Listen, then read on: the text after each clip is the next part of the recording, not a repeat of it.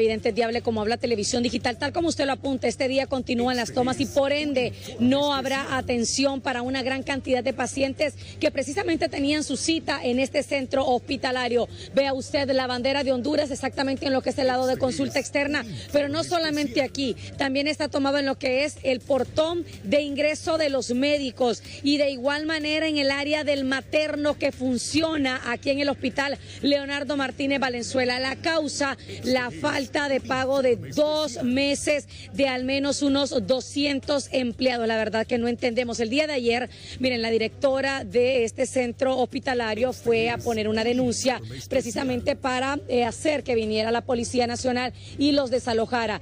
Eh, pero los protestantes pues se han mantenido sin obstaculizar las vías y se están permitiendo solamente lo que es el ingreso de las emergencias. Eh, realmente difícil entender. La directora dijo que se les iba a pagar, pero hasta la fecha ustedes necesitan un día y una hora de cuándo se les va a depositar su dinero. Muy buenos días, sí, Zuli. Necesitamos ya nuestros salarios porque ya el, la alimentación de nuestros ya no puede seguir esperando. Debemos mucho en la pulpería, ya no lo quieren dar fiado, eh, en, los, cuartos ya no lo quieren entender en los cuartos, ya no aguantamos, ya no aguantamos esta situación. Eh, la directora ayer lo denunció, que nosotros nos vamos a entrar a las emergencias y ustedes más de testigos vinieron y vieron que están entrando las embarazadas, estaban entrando las, mujeres a amamantar en, neonato y las del dengue. Estaban entrando a la emergencia. Nuestra presión es por nuestro salario. Que dejen estar mintiendo la señora directora.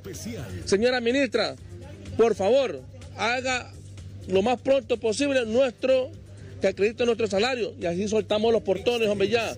Dañamos a la población no queremos nosotros hacer eso, pero estamos dañando a la población. ¿Qué pasa? Por favor, que finanzas hagan, el, que, acrediten nuestro salario ya y esto ya se termina. Así es, efectivamente. Mientras ellos están aquí, la población se mantiene aglomerada en una esquina porque han venido pues con la esperanza de ver si los van a atender, pero lamentablemente se mantienen cerrados todos los accesos. Y esto, como le digo, al final ellos están reclamando una cosa, pero los perjudicados vienen siendo al final siempre los mismos, el pueblo hondureño. Imágenes de mi compañero Oscar Herbolita Perdomo, nos mantenemos siempre eh, al tanto para poder darle continuidad a esta información. Retorno con ustedes al estudio.